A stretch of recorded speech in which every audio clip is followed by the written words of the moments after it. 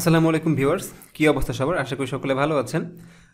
One page এসিওর তিন number ক্লাসে আপনাদের সবাইকে স্বাগতম। This is freelancer Mahim and welcome to my channel আমি মূলত ডিজিটাল মার্কেটিং এক্সপার্ট এবং ডিজিটাল মার্কেটিংয়ের উপরে বিভিন্ন ভিডিও ইউটিউবে আপলোড করে থাকি। সাথে এলডিডিপি অর্থাৎ লার্নিং অ্যান্ড আর্নিং ডেভেলপমেন্ট প্রজেক্টের লট ফাইভের ট্রেনার হিসেবে ছিলাম। তো আজকে আমরা যে বিষয়টা নিয়ে কথা বলব, সেটা হচ্ছে অন পেজ এসিওর তিন নাম্বার ক্লাস এর আগে আমি দুইটা ক্লাস দুইটা ভিডিও আপলোড করেছিলাম ইউটিউবে অন পেজ এসিওর উপরে। তো আজকে আমরা তিন নাম্বার ক্লাসটা শুরু করব। তো দুই নাম্বার ক্লাসে আমরা দেখিয়েছিলাম step one website audit and report এই বিষয়টা নিয়ে এবং কীভাবে আপনি একটা ওয়েবসাইট অডিট করবেন এবং সেটা রিপোর্ট করবেন। তারপরে হচ্ছে কীভাবে আপনি সুন্দরভাবে একটা বায়ার রিকোয়েস্ট পাঠাবেন এবং বায়ার রিকোয়েস্ট পাঠিয়ে বায়ারকে ইমপ্রেস করবেন, সেই বিষয়গুলো আমরা দেখিয়েছিলাম। তো আজকে আমরা দেখব যে একটা ই কমার্স ওয়েবসাইট আপনি একটা ই কমার্স ওয়েবসাইট কীভাবে অডিট করবেন এবং সেটা আপনি বায়ারকে দিয়ে কীভাবে বায়ারকে ইমপ্রেস করবেন এবং সেখান থেকে তাদের কাছ থেকে কাজ পাবেন। তো এই বিষয়টি আজকে আমরা কথা বলব। তো আশা করি পুরো ভিডিওটা দেখবেন। আর যদি ভিডিও ভালো লেগে থাকে তাহলে অবশ্যই লাইক দিবেন শেয়ার করতে ভুলবেন না এবং আমার চ্যানেলে সাবস্ক্রাইব তো মাস্ট তো আর কথা না পারে চলুন ভিডিও শুরু করা যাক। তো মনে করেন আজকে আমরা একটা অ্যাফিলেট ওয়েবসাইট অথবা একটা ই কমার্স ওয়েবসাইট আজকে আমরা অডিট করব। তো আমি যদি গুগলে যাই, মনে করেন এটা হচ্ছে আমার একটা ক্লায়েন্টের ওয়েবসাইট এই ওয়েবসাইটটা আমরা অডিট করব। তো তার আগে আমি এইখানে একটা ফাইল রেডি করেছি। যেই ফাইলটা আমি কি করব, আমার বায়ারকে দিয়ে বায়ারকে ইমপ্রেস করব, যেন সে আমাকে কাজটা দেয়। আর অবশ্যই যেন একটা বাজেটটা বেশি দেয়, কারণ একটা ই কমার্স ওয়েবসাইটগুলো তুলনামূলক অনেক বড় হয়। এখানে দেখা যাচ্ছে দুইশো প্রোডাক্ট থেকে শুরু করে চার পাঁচ হাজার প্রোডাক্ট থাকে। তো সেক্ষেত্রে এক একটা দুই আড়াইশো প্রোডাক্টের যেই ওয়েবসাইটটা আছে, সেটা অডিট করতে গেলে দেখা যাচ্ছে আমরা একশো থেকে দেড়শো ডলারের মতো চার্জ করে থাকি। তো এটার জন্য অবশ্যই আপনাদেরকে বায়ারকে ইমপ্রেস করতে হবে। কারণ একশো, দেড়শো ডলার এটা হিউজ টাকা, এমনি আপনাকে কোনো একটা বায়ার অবশ্যই দিবে না। এটার জন্য আপনাকে বায়ারকে কিছু ক্রিয়েটিভিটি দেখাতে হবে। আপনি কোন কাজগুলো জানেন, কোন কাজগুলো করলে বায়ারের ওয়েবসাইটটা আরও বেশি র্যাঙ্ক করবে ট্রাফিক ভালো আসবে, সেই জিনিসগুলো কী করতে হবে? আপনাকে তাদেরকে সাবমিট করতে হবে, তাদেরকে বুঝাতে হবে। তো যখন আপনি প্রকৃতভাবে তাকে বুঝাতে পারবেন, তখনই তারা আপনাকে কাজটা কিন্তু দিবে। তো আমি যে ফাইলটা রেডি করেছি, তার প্রথমে এখানে লেখা আছে, দেখেন some rules of SEO for e commerce website তো ফার্স্টে রেখেছি keyword selection first you have to research keyword for your home page category page and a for every product তার মানে হচ্ছে আপনাকে কিওয়ার্ড রিসার্চ করতে হবে হোম পেজের জন্য ক্যাটাগরি পেজের জন্য, এবং এভরি প্রোডাক্টের জন্য কি করতে হবে? কিওয়ার্ড রিসার্চ করতে হবে। তো এখন যদি আমি একটা উদাহরণ দিই, কীভাবে আপনি হোম পেজ ক্যাটাগরি পেজ এবং এভরি প্রোডাক্টের ভিতরে কিওয়ার্ড রাখতে পারেন, সেটা একটু দেখে আমি একটু গুগলে যাই। গুগলে গিয়ে আমি এখানে মনে করেন দারাজে গেলাম। এটা সহজ উদাহরণ দিচ্ছি বাংলাদেশের ভিতরে। তো দারাজে যাওয়ার পরে দেখবেন যে এই যে দারাজ আছে, এর ভিতরে, এটা একটা মূলত আমরা যেখানে আছে সেটা হচ্ছে হোম পেজ তো এই হোম পেজের ভিতরে আমায় কী করতে হবে? কিওয়ার্ড রিসার্চ করতে হবে। একটা কিওয়ার্ড বসাতে হবে। ডেসক্রিপশন লিখতে হবে, সেখানে কিওয়ার্ড বসাতে হবে। এছাড়া আমরা বলেছি ক্যাটাগরি পেজ তো এই জায়গায় লেখা আছে, দেখেন ক্যাটাগরি এখানে অনেকগুলো ক্যাটাগরি আছে। আমি যদি যে কোনো একটা ক্যাটাগরিতে যাই, যেমন স্মার্টফোন ক্যাটাগরিতে গেলাম তো এই ক্যাটাগরির ভিতরেও আপনার কী করতে হবে ডিসক্রিপশন লিখতে হবে টাইটেল বা যে যাই কিছু থাকে না কেন, সেখানে আপনার একটা ডিসক্রিপশন বসাতে হবে। আর এরপরে যেটা আছে সেটা হচ্ছে প্রোডাক্ট এভরি প্রোডাক্টের ভিতরে আমাদের কিওয়ার্ড রিসার্চ করতে হবে। যেমন এই একটা প্রোডাক্ট একটা মোবাইল ফোন সে দিয়েছে।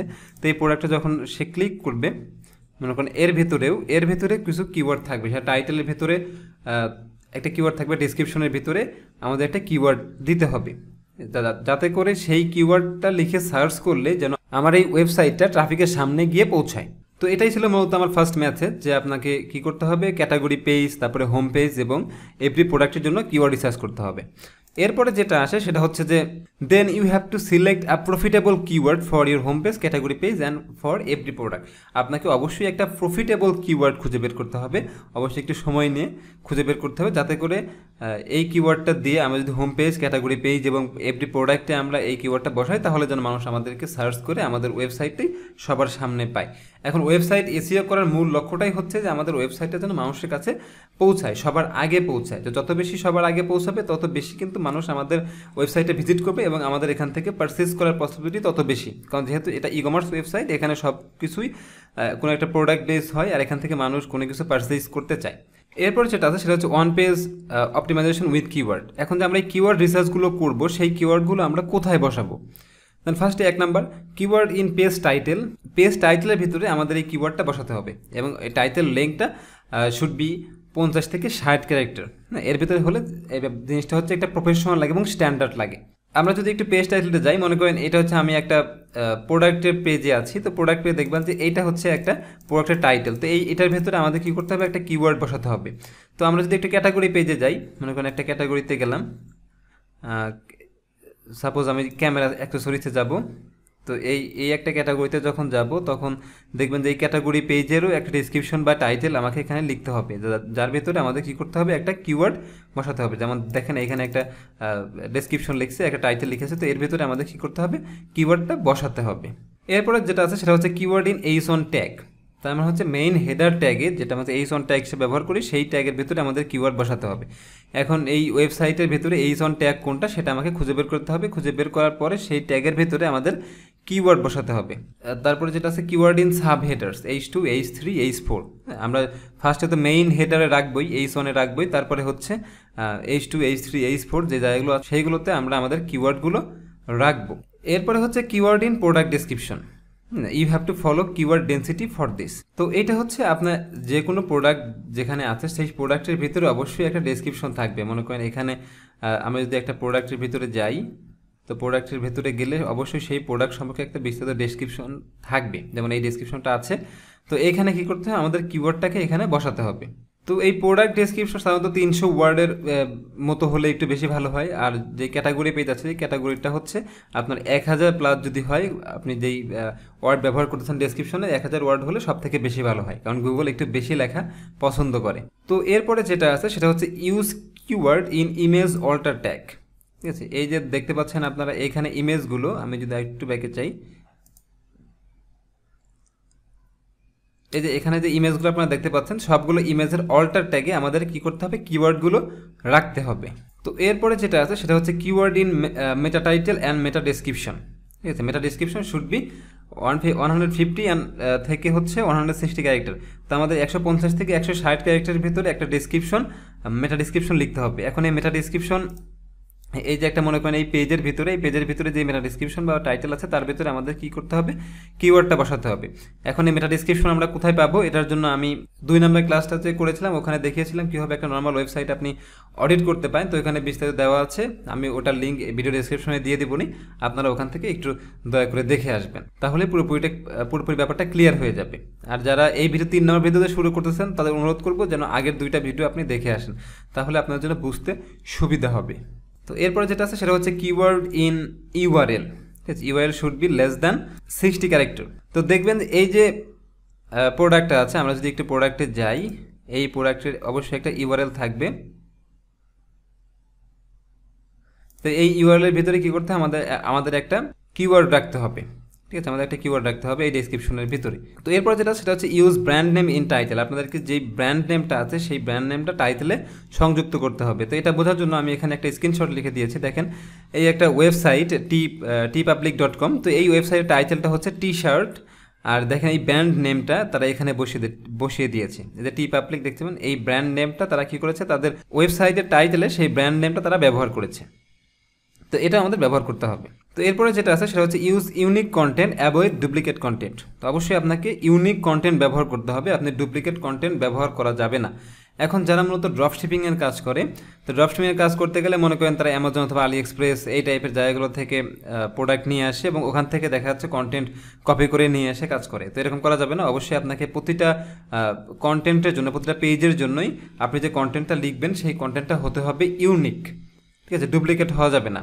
সেটা আপনি ক্যাটাগরি পেজের জন্য লেখেন বা প্রোডাক্ট পেজের জন্য লিখেন অথবা আপনি যার জন্য লিখেন না কেন, অবশ্যই কন্টেন্টটা থাকতে হবে ইউনিক কন্টেন্ট তো এরপরে আছে হচ্ছে রিডিউস ইমেজ সাইজ তো এইটা কি? মনে করেন এই পেজে দেখতে পাচ্ছেন, এই পেজে যতগুলো ইমেজ আছে, তো এই ইমেজগুলোর সাইজ হচ্ছে আমাদের কি করতে হবে?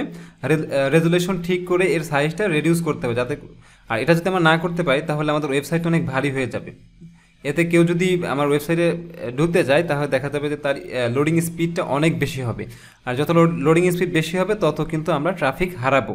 তো তারপরে হচ্ছে স্পিড আপ লোডিং টাইম অবশ্যই আপনাদেরকে যেই লোডিং টাইমটা আছে, সেটা স্পিডটাকে বুস্ট করতে হবে। এটা যদি লোডিং টাইম যদি বেশি নেয়, তাহলে ট্রাফিক হারাবো আমরা, এর আগেও বলেছি। তো অবশ্যই আমাদের স্পিডটাকে ভালো রাখতে হবে। এটা যদি টু সেকেন্ডের নিচে হয় তাহলে সব থেকে ভালো হয়। তো এরপরে যেটা আছে সেটা হচ্ছে অ্যাড ব্লগ সেকশন আমাদের একটা আমাদের একটা ব্লগ সেকশন ক্রিয়েট করতে হবে এবং সেইখানে আমাদের নিয়মিত পোস্ট করতে হবে। অন্তত সপ্তাহে একটা থেকে দুইটা পোস্ট করতে হবে যাতে করে আমাদের আমরা আমাদের ওয়েবসাইট ওয়েবসাইটে সবসময় আপডেট থাকে এবং গুগল রোবটের জন্য আমাদের ওয়েবসাইটটাকে নিয়মিত ভিজিট করে। তো এই জন্য আমরা কী করব, আমাদের ক্লায়েন্টকে বলব যেন একটা ব্লগ সেকশন সে অ্যাড করে রাখে। তো এইগুলো হচ্ছে আমাদের প্রথম ধাপ। আমরা কিওয়ার্ড সিলেকশনের যে কাজটা আছে সেই কাজটা আমরা এখানে করব। এরপরে যে কাজগুলো, সেটা হচ্ছে আমরা ওয়েবসাইটটা ভিজিট করব। কারণ ফার্স্টে যখন একজন বায়ারের বায়ার রিকোয়েস্ট সেন্ড করবে, তখন অবশ্যই আমরা ওখানে দেখব যে কি এক তার ওয়েবসাইটের লিঙ্ক অবশ্যই দিয়ে দিবে। তো ওয়েবসাইটের লিঙ্ক যখন দিবে, তখন কি করব, আমরা ওয়েবসাইটটাকে নিয়ে আগে নিজেরাই অডিট করব। এসিও কোয়াকের মাধ্যমে। এসিও কোয়াকের মাধ্যমে আমরা অডিট করব। অডিট করে আমরা কি কি ভুল আছে, কি কি ভুল আছে এই ওয়েবসাইটের ভিতরে, সেগুলো আমরা কি করব, খুঁজে বের করব। তো খুঁজে বের করে আমরা সুন্দরভাবে এটা সাজাবো। তো এই যেমন লিখেছি what problem I have found in your website মানে আমি আপনার ওয়েবসাইটে কি কি প্রবলেমগুলো পাইছি সেইগুলো আমি এখানে বসিয়ে দিব। ওকে তাহলে মনে করেন আমি আমার ক্লায়েন্টের ওয়েবসাইটে যাব। তো এরপরে এটা আমরা কি করব? এখান থেকে অডিট করব। তো এটা অডিট করার আগে আমরা কিন্তু এর আগে ক্লাসে দেখিয়েছি, আমরা একটা ফাইল এখানে রেডি করে রাখি। যেই ফাইলগুলো থেকে আমরা কি করতে পারি এগুলো খুঁজে বের করতে পারি যে কী কী সমস্যাগুলো আছে। তো এখান থেকে যেটা থাকবে সেটা আমরা রাখব, তো না হলে আমরা কেটে দিব। ওকে তো আমরা হচ্ছে ওয়েবসাইটে অডিট করব এখন। এখানে লেখা আছে you have not use to your QR properly এখন সেই কিউআরটা কীভাবে প্রপারলি ব্যবহার করেছি কিনা সেটা আমাদের একটু খুঁজতে হবে। তো আমরা চলে যাব হচ্ছে আমাদের বাইরের ওয়েবসাইটে তো এইখানে যাওয়ার পরে, এখানে আমরা তো আসব, এখানে আসার পরে আমাদের এসিও কোয়াকে যাব দেন ডায়াগনোসিসে যাব। তো যারা এই এসিও কোয়াকের ব্যবহারটা জানেন না, তারা পূর্বে ক্লাসে এই সম্পর্কে বিস্তারিত আলোচনা করা হচ্ছে, আপনার ওখান থেকে একটু কাইন্ডলি দেখে আসবেন। তো জাস্ট ডায়াগনোসিসে ক্লিক করলাম। দেখেন, এগুলো আস্তে আস্তে এখন অডিট হয়ে যাবে। তো এখান থেকে আমরা দেখতে পাচ্ছি, দেখেন টাইটেল ঠিক আছে, তারপর হচ্ছে সমস্যা হচ্ছে মেটা ডিসক্রিপশনে এটা একটু ঝামেলা আছে দেন হেডিংটা ঠিক নাই ইমেজ অল্টার ট্যাগ ঠিক নাই। হ্যাঁ তো এই যেখানে এগুলো সমস্যাগুলো আছে, সেই সমস্যাগুলো কি হবে? এখানে আপনাকে এরকম রেড মার্ক করা থাকবে। আর যেগুলো ভালো আছে, ঠিকঠাক আছে, সেগুলো টিক মার্ক করা থাকবে। তো তাহলে আমাদের যেহেতু টাইটেলটা ঠিক আছে, এটা আমরা রাখব না, ঠিক আছে? এখানে টাইটেলটা আমাদের ঠিক আছে। ওকে তো আমরা এটা বুঝলাম। দেন হচ্ছে title tag is not optimize properly এটা আমরা লিখেছি। এখন টাইটেল ট্যাগ হচ্ছে কোনটা? এইটা। হ্যাঁ এই যে এইটা। এখানে আমরা সিক্সটি থেকে সেভেন্টি ক্যারেক্টারের ভিতরে থাকবে। এটা এটাও ঠিক আছে। এটা কোনো সমস্যা নেই। টাইটেলটাও ঠিক আছে। টাইটেল ট্যাগগুলো আশা করি ঠিক আছে। তো এখান থেকে আমরা আর কোনো ঝামেলা পেলাম না। এখন ঝামেলা যেটা পাইছি সেটা হচ্ছে যে এইটা। নো মেটা ডিসক্রিপশন হ্যাঁ মেটা ডিসক্রিপশনের জায়গাতে আমরা একটু ঝামেলা পাইছি। তো সেটা যদি একটু দেখি। এখানে মেটা ডিসক্রিপশন সে ব্যবহার করেছে। কিন্তু তার অ্যাভারেজ কত ব্যবহার করতে হবে? সর্বনিম্ন ব্যবহার করতে হবে একশো ষাট থেকে তিনশো ক্যারেক্টারের ভিতরে। তো সে ব্যবহার করেছে মাত্র সত্তর ক্যারেক্টার। তো এইটা তাকে অবশ্যই আপডেট করতে হবে। তো সে যদি একশো ষাট থেকে তিনশোর ভিতরে না যায়, তাহলে কিন্তু এই ওয়েবসাইটটা প্রপারলি অপটিমাইজড হবে না। এখানে এটা লিখে দিব যে meta description no meta description বলতে এখানে মেটা ডিসক্রিপশন নেই, কিন্তু এখানে তো আছে। তো এই জন্য আমরা লিখে দিব হচ্ছে meta description is not optimized properly ঠিক আছে? এই ধরনের লেখা লিখে দিব। আচ্ছা আমি এখানে লিখি meta description is not optimized pro- properly. Okay তাহলে আমরা এই প্রথম তিনটা শেষ করলাম। এখন এটা তো আমরা জাস্ট হোম পেজের জন্য অপটিমাইজ করছি। এখন যদি আমরা অন্য একটা ইয়াতে যাই, অন্য একটা ক্যাটাগরি পেজে যাই, মনে করি যে ব্র্যান্ডসে এই, এইখানে এটাতে যাব। ওখানে এখানে একটা নিউ ট্যাবে ওপেন করলাম। ওপেন করার পরে, তো এইটা যদি আমরা একটু এসিও কোয়াক দিয়ে ডায়াগনোসিস করি, তাহলে আমরা দেখতে পাবো যে এখানেও বেশ কিছু ঝামেলা পাবো। তো এরকম এখানে দেখেন মেটা ডিসক্রিপশনটা সমস্যা আছে ইমেজ অল্টার ট্যাগে ঝামেলা আছে। তো এখান থেকে যদি আরও দেখি, ঠিক আছে, প্রতিটা ক্যাটাগরি পেজ আমাদেরকে আসলে দেখতে হবে একটু খুঁজে খুঁজে। তো এটার যথেষ্ট সময় সাপেক্ষ তারপরে আমাদেরকে যেহেতু কাজ করব, আর আমাদের তো এমনিতেই বসে বসে টাকা দিবে না, অবশ্যই আমাদের পরিশ্রম করতে হবে। ঠিক আছে, তো এইভাবে আমাদের খুঁজে বের করতে হবে। তো এই যে ঝামেলাগুলো আছে, সেইগুলো আমরা কি করব? স্ক্রিনশট দিয়ে আমরা ওইখানে পেস্ট করে দিব। কারণ এই ফাইলটা আমরা বায়ারকে দিব, যাতে করে সে আমাদেরকে কাজ দিতে আগ্রহী হয়।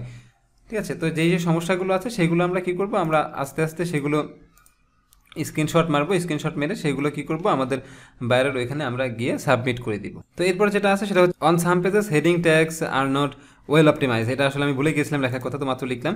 তো এইটা আমরা একটু দেখব। এটা আমরা কেন লিখেছি? কারণ আমরা যদি একটু এতে যাই এসিও কোয়াকে যাই, দেখবেন যে এই পেজটার হেডিং ঠিক ঠিক আছে, কোনো সমস্যা নেই। এই পেজটার হেডিং ঠিক আছে, কিন্তু এই পেজটার হেডিং দেখেন, এখানে নাই।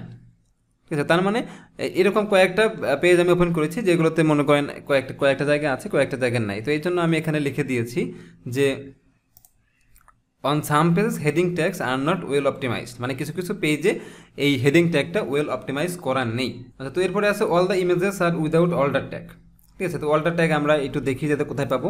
আমরা যেমন এটা অডিট করেছি, তো এখানে দেখা যাচ্ছে একশো বাইশটা ইমেজ হচ্ছে উইদাউট অল্টার ট্যাগ তো এরপরে হচ্ছে একশো একটা ইমেজ উইদাউট অল্টার ট্যাগ তার মানে অধিকাংশ ইমেজে দেখা যাচ্ছে যে এখানে অল্টার ট্যাগ ছাড়া ব্যবহার করা হয়েছে। তো এগুলো আমাদেরকে কী করতে হবে? নোটিশ করতে হবে। তো এগুলো আমাদেরকে মার্ক করতে হবে। ঠিক আছে? কারণ এগুলো আমাদেরকে বসাতে হবে। তো এইটা নেওয়ার পরে কী করতে হবে? আমি মনে করেন আমি তাকে একটা বোঝানোর জন্য আমি এখান থেকে একটা স্ক্রিনশট নিব। মনে করেন এখান থেকে একটা স্ক্রিনশট নিলাম আমি। এই একটা নিলাম। নিয়ে জাস্ট আমরা কি করব? যে এখানে বসিয়ে দিব। ইমেজ অল্টার ট্যাগ যেখানে আছে, এখানে আমরা বসিয়ে দিব। সে যেন আমাদেরকে এই জিনিসটা ট্রাস্ট করে। হ্যাঁ যেটা, এটা বসিয়ে দিয়েছি। আমি চাইলে আরও দুই একটা যেটা ভিজিট করেছি তখন এখানে আছে একশো বাইশ ইমেজেস উইদাউট অল্টার ট্যাগ তো এটা আমরা যদি একটু স্ক্রিনশট নেই। তো নিয়ে এটা আমরা কি করব? আবার এখানে পেস্ট করে দিব। তাকে বোঝানোর জন্য আমরা এখানে এটা বসিয়ে দিব। ওকে তারপর যেটা আছে some of the category pages have no description at the bottom or top okay তো এটা কি? মনে করেন আমি এই একটা ওয়েবসাইটে যাব। তো এই ওয়েবসাইটে এটা তো প্রথমটাতে ভিজিট করি। ওয়েবসাইটের হোম পেজে একটু ভিজিট করি। হোম পেজের ওয়েবসাইট হোম পেজে গিয়ে দেখবেন যে অবশ্যই একটা ডেসক্রিপশন থাকবে। যদি ডেসক্রিপশন না থাকে, তাহলে এটা ক্লায়েন্টকে বলে ডেসক্রিপশন বসাতে হবে। এছাড়া যদি আমি একটা ক্যাটাগরি পেজে যাই মনে করেন একটা ক্যাটাগরি পেজে গেলাম ক্যাটাগরি পেজে গিয়ে অবশ্যই একটা ডেসক্রিপশন থাকতে হবে। যেমন এই একটা ডেসক্রিপশন দেওয়া আছে। তবে ক্যাটাগরি পেজের জন্য আমাদের ডেসক্রিপশন থাকতে হবে। কমপক্ষে হচ্ছে এক হাজার ক্যারেক্টার হলে ভালো হয়। তো এর নিচে যদি থাকে, তাহলে সেটা কিন্তু ওয়েল অপটিমাইজড করা নেই। ঠিক আছে?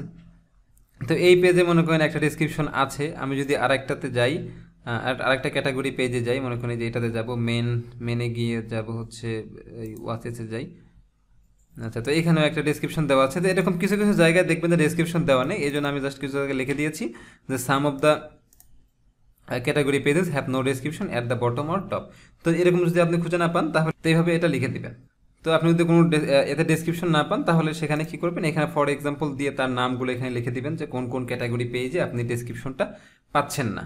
আচ্ছা তো এরপরে যেটা আছে সেটা হচ্ছে যে এটার ভিতরেই আমরা কিছু কিছু পেজের ক্যাটাগরি পেজের ভিতরে ডিসক্রিপশন পেয়েছি, কিন্তু ডিসক্রিপশনগুলো হচ্ছে অনেক শর্ট তো আমরা এটা এভাবে লিখতে পারি and some of the category page pages have description but is is too short ঠিক আছে it should be one thousand plus word তারপরে এগুলো অনেক শর্ট আছে, কারণ এখানে কত আছে? সর্বোচ্চ দুইশো বা একশো থেকে দুইশো এই এই ওয়ার্ড আছে, তো এটা কি করতে হবে? এক হাজার ওয়ার্ডের এক হাজার প্লাস ওয়ার্ডের বেশি যদি আমরা করতে পারি, তাহলে এটাকে কিন্তু ওয়েল অপটিমাইজড হবে। এসিওর ক্ষেত্রে আমাদের অনেক কাজে লাগবে এটা।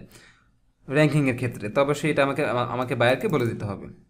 ওইভাবে লিখে দিবেন the some of the category pages have description but it is too short it should be one thousand plus word তো এরপর যেটা আছে some of the product description is very short it should be three hundred plus word you have to use your keyword in this description তার মানে কি আপনার যে প্রোডাক্টের জন্য যে ডেসক্রিপশনটা আপনি লিখবেন, সেই ডেসক্রিপশনটা শর্ট হওয়া যাবে না, এটা হবে হয়তো কত?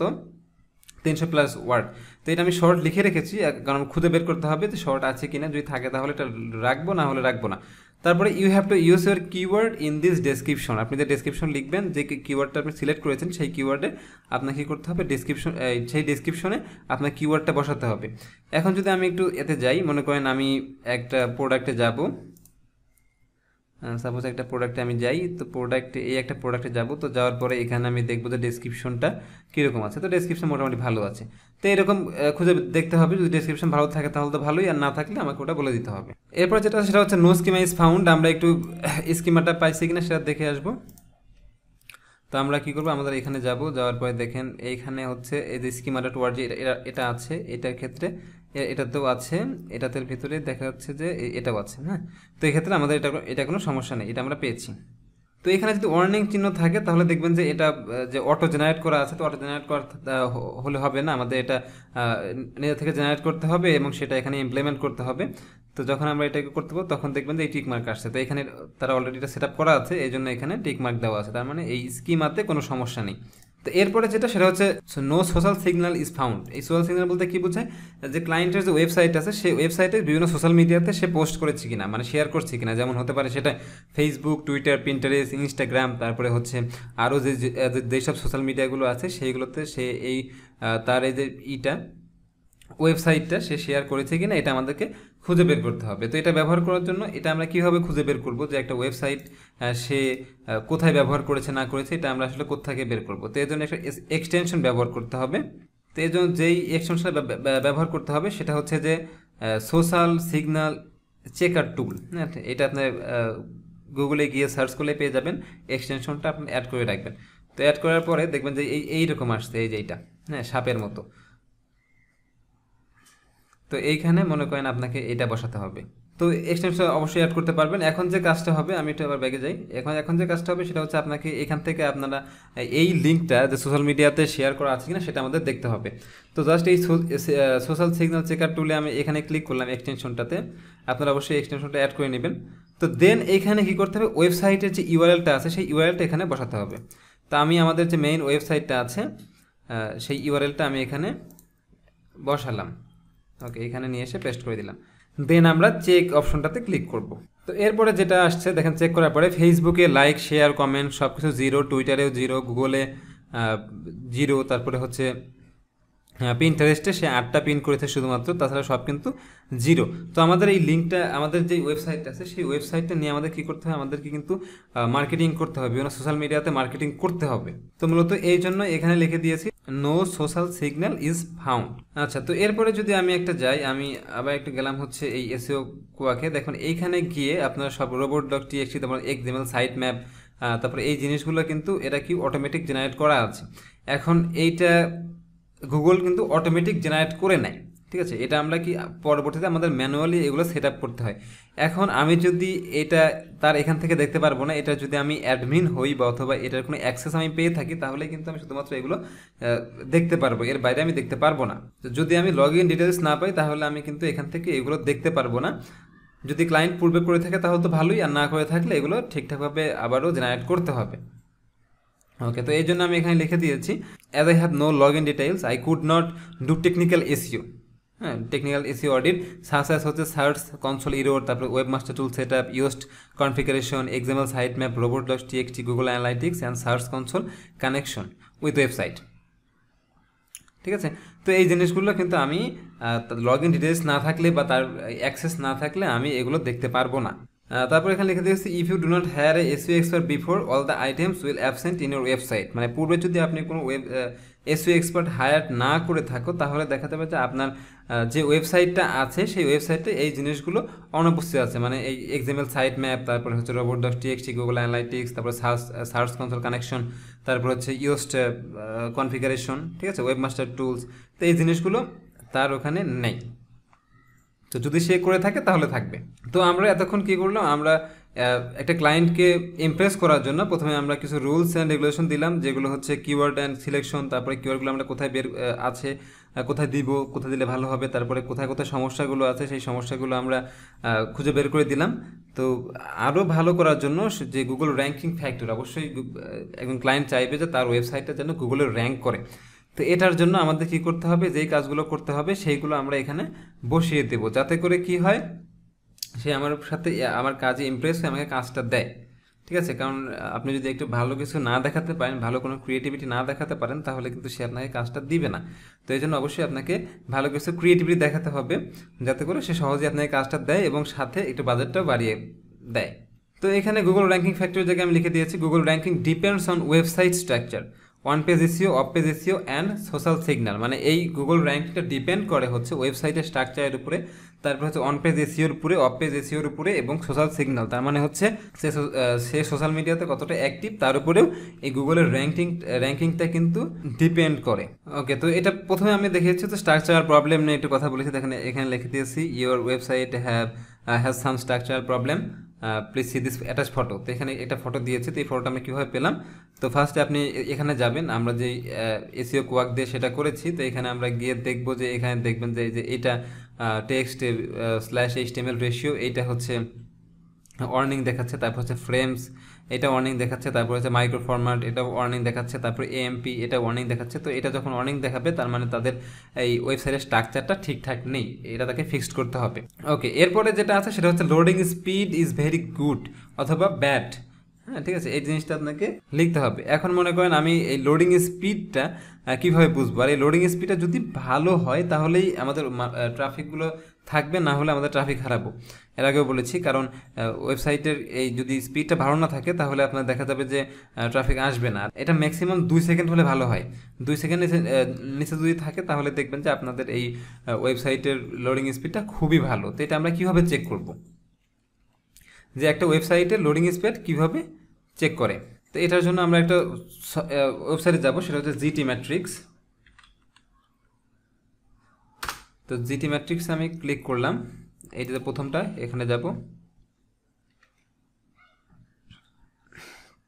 এখানে যাওয়ার পরে যে আমাদের হোম পেজের যে ইউআরএলটা আছে, সেই ইউআরএলটা আমরা এখানে বসিয়ে দিব চেক করার জন্য যে ওয়েবসাইটের লোডিং স্পিডটা কেমন। এটা কিন্তু আপডেট হয়ে থাকে।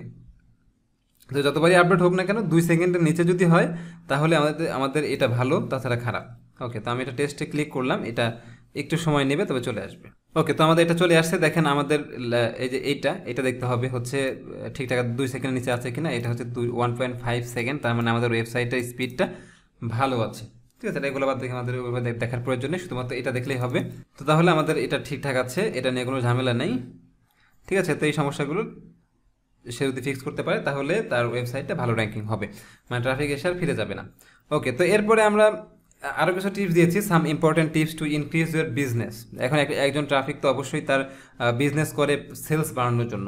তো যত বেশি সেলস হবে, তত বেশি সে কিন্তু মার্কেটিং নিয়ে আরও খুশি হবে। তো সেক্ষেত্রে আমরা কিছু টিপস এদেরকে দিয়ে দিয়েছি। যেমন এখানে দিয়েছে join different online buying and selling group of your country in social media specially Facebook and share your service তো কিছু বাইং এবং সেলিং গ্রুপ আছে আপনাদের কান্ট্রিতে যেগুলো হচ্ছে আপনাকে জয়েন করতে হবে।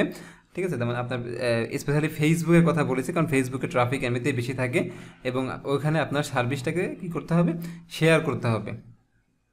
ঠিক আছে? তারপর হচ্ছে create at least one pin daily in your Pinterest account তো কমপক্ষে একটা করে পিন আপনার পিনটারেস্ট অ্যাকাউন্টে রাখতে হবে, কারণ এই সোশ্যাল মিডিয়াগুলোতে প্রচুর পরিমাণে ট্রাফিক থাকে। তো এই ট্রাফিকগুলোকে আমাদের কী করতে হবে? ধরতে হবে। ঠিক আছে? এই ট্রাফিকগুলো আমাদের ধরতে হবে। আর এগুলো তো সম্পূর্ণ ফ্রি মেথড কিন্তু। এগুলো সম্পূর্ণ ফ্রি মেথড এরপর হচ্ছে create only create at least one post daily in your IG account that's mean ইনস্টাগ্রামে অ্যাকাউন্টে আপনাকে কী করতে হবে? আপনার বিজনেস নিয়ে একদম মিনিমাম একটা পোস্ট করতে হবে। ঠিক আছে? যাতে করে কি হয়? তার এই মার্কেটিংটা বৃদ্ধি পায়। তো এই ছিল মূলত আমাদের টিপসগুলো তাকে শেয়ার করারই তো এখান থেকে আমরা সব কিছুই ঠিকঠাক করে দেওয়ার পরে সেই বায়ার যদি আপনাকে ইনবক্সে মেসেজ করে, মনে আপনি বায়ার ইনবক্সে মেসেজ করেছে, তাকে ইনবক্সে এই পিডিএফ ফাইলটা আপনি তাকে শেয়ার করবেন। এখন যদি আপনি ইনবক্সে সে আপনাকে শেয়ার করে না থাকে, তাহলে আপনারা কি করবেন?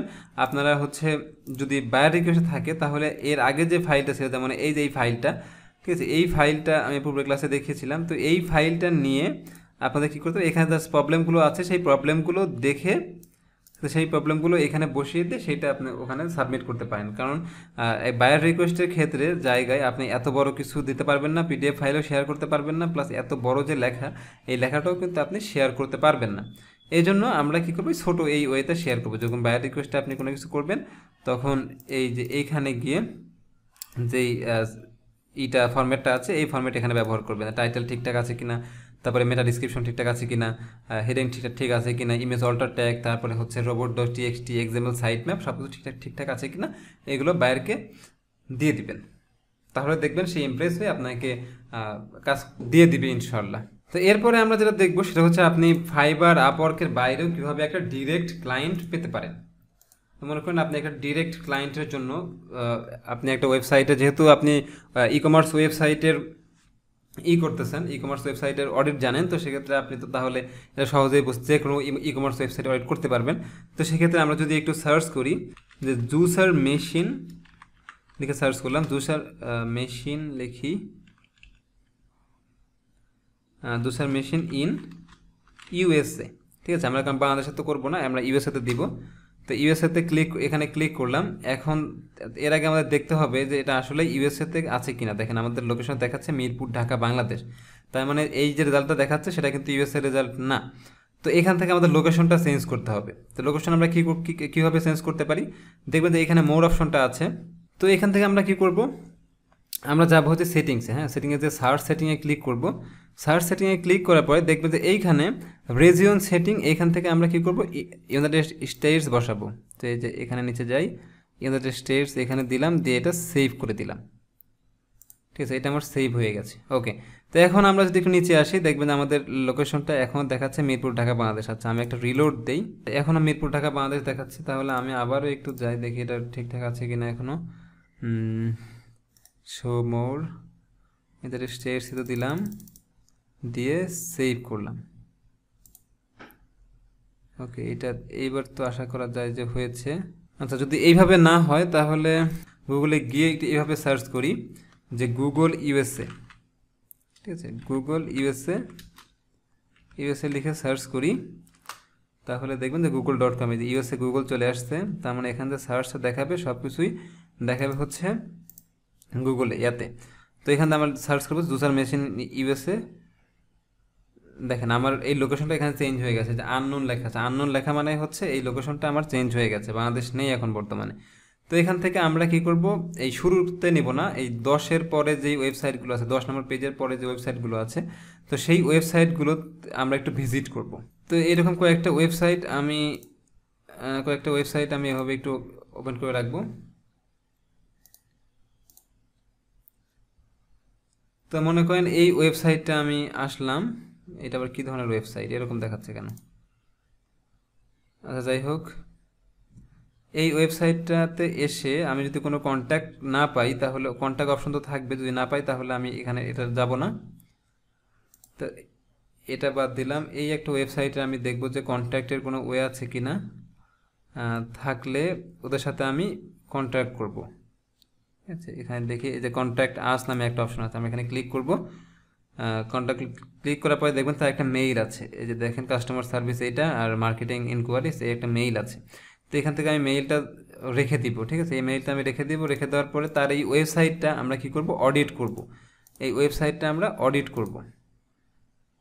ওকে, তো এই ওয়েবসাইটটাতে আমরা যাই, যাওয়ার পরে আবার সেই এসিও কোয়াক দ্বারা ডায়াগনোসিসে গিয়ে এই ওয়েবসাইটটাকে আমরা অডিট করব। দেখব যে কোন কোন জায়গায় ঝামেলা আছে। তো এই ঝামেলাগুলো আমরা খুঁজে বের করে কী করব?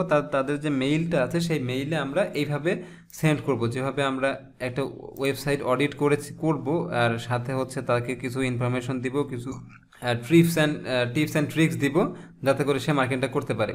ঠিক আছে? এই কাজগুলো যখন আমরা দিব, তখন সে আমাকে কিন্তু কাজ দেওয়ার পসিবিলিটি নাইনটি নাইন পার্সেন্ট বেড়ে যাবে। ওকে তো এরপরে আরও দু একটা ওয়েবসাইট আমরা দেখি, যেমন এই যে, এই একটা ওই ওয়েবসাইটে আমরা আগে দেখব যে কন্ট্যাক্ট আস অপশনটা আছে কিনা, কারণ সব ওয়েবসাইটে কন্ট্যাক্ট আস অপশনটা থাকে না। ঠিক আছে? এই যেমন এই একটা আছে হচ্ছে Jonathan Bird dot BBC at the rate Gmail dot com এখানে অ্যাট দ্য রেট এভাবে বসাইনি অ্যাড লিখে দিয়েছে, এটা আপনার নিজে বসাতে হবে। তো এই মেইলটা আমরা কালেক্ট করে রাখব কালেক্ট করে রেখে কী করব? তার এই ওয়েবসাইটটাকে তার এই ওয়েবসাইটটাকে আমরা অডিট করব। ফার্স্টে তার ওয়েবসাইটটাকে আমরা অডিট করব এসকিউ এর মাধ্যমে তো আবারও যাই। ওয়াকে যাই দেন ডায়াগনোসিসে যাব। যাওয়ার পরে এখান থেকে আমরা দেখব তার ওয়েবসাইটে কী কী ঝামেলাগুলো আছে। শুধুমাত্র এই হোম পেজ দেখব না আরও বেশ কিছু জায়গা দেখব। বেশ কিছু জায়গা দেখব, সেটা হতে পারে তার ক্যাটাগরির ভিতরে আমি যাব। মনে করি ক্যাটাগরি ক্যাটাগরির ভিতরে গেলাম কিচেনে গেলাম, এই একটা ক্যাটাগরির ভিতরে। তো এইটাও আমরা অডিট করতে পারি। ঠিক আছে, এই কিচেনের ভিতরে গিয়ে এখানে জাস্ট আমরা এই যে ডায়াগনোসিসে ক্লিক করে এইভাবে আমরা অডিট করতে পারি। তো এই দেখেন এখানে মেটা ডিসক্রিপশন নেই, তারপরে হচ্ছে টেক্সট এইচ টিএমএল রেশিও এটা খারাপ আছে। তো এরকম কিছু কিছু সমস্যা robot dot TXT set up করা নেই। হ্যাঁ তো অনেক কিছুই এখানে নেই। তো এইগুলো আমরা কি করব? তাকে এই সমস্যাগুলির স্ক্রিনশট নিয়ে এগুলো ফিক্স করার জন্য তাদের যে মেইলটা যে কন্ট্যাক্ট ইটা পেয়েছি কন্ট্যাক্ট মেইলটা পেয়েছি, সেই মেইলে গিয়ে আমরা সুন্দরভাবে তাকে একটা মেসেজ করব এবং মেসেজ করে বলব, যদি আপনি, যদি আমাকে আপনি এই কাজগুলো দেন, তাহলে আমি সুন্দরভাবে আপনার এই ওয়েবসাইটটাকে অপটিমাইজ করে দিব, যে যে সমস্যাগুলো আছে সবগুলো আমরা ফিক্স করে দিব। তো এটার মাধ্যমে আমি যেই পরিমাণ চার্জ নেই বা তার সাথে কথা বলে এভাবে নেবেন। তো এই ছিল মূলত আজকের একটা ই কমার্স ওয়েবসাইট অডিটের ক্লাস এবং কীভাবে একটা ই কমার্স ওয়েবসাইটে আপনি কাজ করবেন এবং কীভাবে বায়ারকে ইমপ্রেস করবেন এবং ডিরেক্ট ক্লায়েন্ট আপনি পেতে পারেন, সেই বিষয়গুলো নিয়ে কথা বলেছি। আশা করি ভিডিওটা ভালো লেগেছে। যদি ভিডিওটা ভালো লেগে থাকে তাহলে অবশ্যই একটা লাইক দিয়ে দিবেন শেয়ার করতে ভুলবেন না। আর নেক্সট ক্লাস পেতে অবশ্যই তো সাবস্ক্রাইব করে পাশে থাকতে হবে। ওকে তো দেখা হবে নেক্সট ভিডিওতে পর্যন্ত সবাই সুস্থ থাকবেন, ভালো থাকবেন, আল্লাহ হাফেজ। আসসালামু আলাইকুম।